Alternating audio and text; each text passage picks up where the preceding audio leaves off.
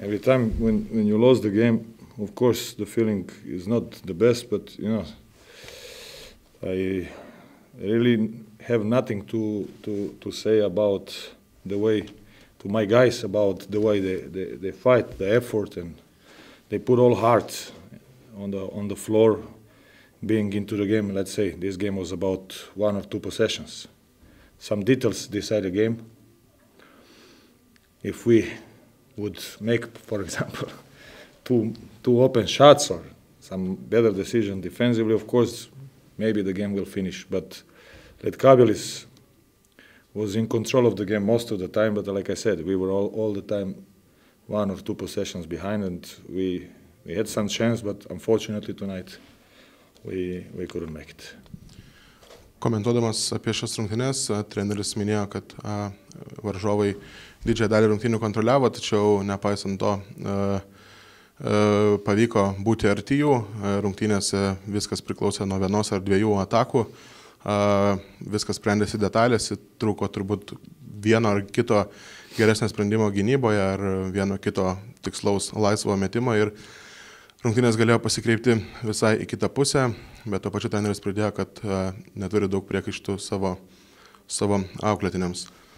Uh, coaches, today it was tough to score three-point shots. Only one uh, three-point uh, made in in first half, and four in general. Do you have an answer why? The situation is very clear, you know. But if I say something, you know, maybe it will be excuse, but it's something what what is very logical.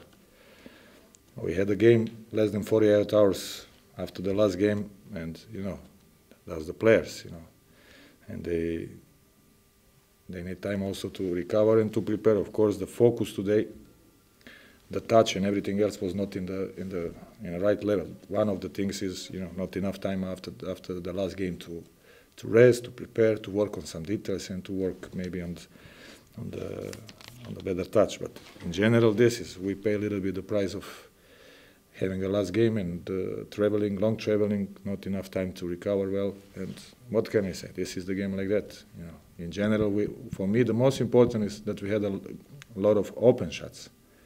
And when you work for the open shots, which is the, the, the, the goal in offense, of course, uh, this is first what is important. Second, if you miss these shots, of course, we're going to work on, on, on, on, the, on this shooting percentage, so I, I expect in next games we'll be back on the right level. Klausimas buvo apie tolimus metimus, kuriuos šiandieną realizuoti uteniškiams buvo sunku. Visą labą vienas tikslus metimas pirmoje rungtynių dalyje ir keturi iš viso, į ką treneris atsakė, kad na, jisai žino priežastį, kodėl, bet na, tai tiesiog gali skambėti kaip pasteisinimas. Treneris tiesiog akcentavo į tai, kad pastarosios rungtynės iki šių vyko prieš mažiau nei 48 valandas, už vakar po tolimos kelionės Klaipėdoje, na ir natūralu, kad krepšininkai nespėjo atsigauti, neturėjo reikiamo poilsio ir tai turėjo įtakos. Tačiau treneris pasidžiaugė, kad daug tų metimų buvo laisvų, ką treneris akcentavo, kad na, jam svarbiausia, kad pavyksta susikurti metimus, o anksčiau ar vėliau tie metimai įkris. And for the last coach, uh, what about uh, Ryan Taylor? What is his situation? Unfortunately, we miss him a lot in the last last games. He is a very important part of, of our roster, and uh, we couldn't we couldn't get him now earlier for this for this game. He is in a process of recovery. is doing well. I hope that he will join us in a full intensity from the next first practice, team practice, and that will be competitive for the for the next game that we play. So right now looks good, improving, and I hope everything will be fine. Klausimas buvo apie Ryaną Taylorą, kuris jau kelias rungtynės iš eilės negali padėti komandai dėl traumos, ką treneris atsakė, kad buvo klausimas, kokia yra jo situacija. Treneris tikisi, kad artimiausioje komandos treniruotėje Ryanas jau galės treniruotis pilnu pajėgumu ir artimiausiu metu galės padėti komandai, kadangi šiuo metu jo labai trūksta, jis pagavo gerą ritmą, jis tobulėja ir tikrai būtų naudingas komandai. Everything is changeable, but just games in Utena are always the same. You know, like a lot, lot of emotions, uh, very intensive. Uh, I think very good basketball from both sides, and uh, I'm very happy because we we won today. Komentuodamas šias rungtynes, treneris a, minėjo, kad viskas gali keistis, tačiau rungtynės Utenoje visuomet išlieka tokios pačios, daug emocijų, didelis intensyvumas. Abi komandos demonstravo gerą krepšinį ir treneris džiaugiasi, kad jo komandai pavyko iškovoti pergalę. Uh, coach, uh, what about Paulius Valinskas? He got an injury in the first quarter. Big, big headache, big headache for us. Big problem. We'll see. But uh, he feel pain in hamstring, and uh, he couldn't continue. And you know now we must we must check and we must we must see. But big problem for us at the moment.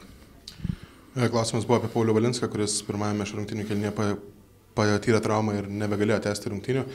Ką treneris atsakė, kad na, kol kas nieko pakomentuoti negali, jis pajuto skausmus raumenyje ir tai kol kas yra didelė uh, problema uh, jų komandai. Uh, maybe something new about uh, Hadžibegovič? Hadžibegovič was yesterday on the, but it's not still not clear. We must wait more more more uh, examination. Yeah, okay. uh, klausimas buvo apie Hadžibegovičių, kokia yra jo situacija ir kiek ilgam jis iškrito. Ką treneris sakė, kad uh, vakar buvo atlikti tyrimai, bet dar uh, kol kas jie nežino, kokia yra viskas situacija, reikia išsamesnių tyrimų.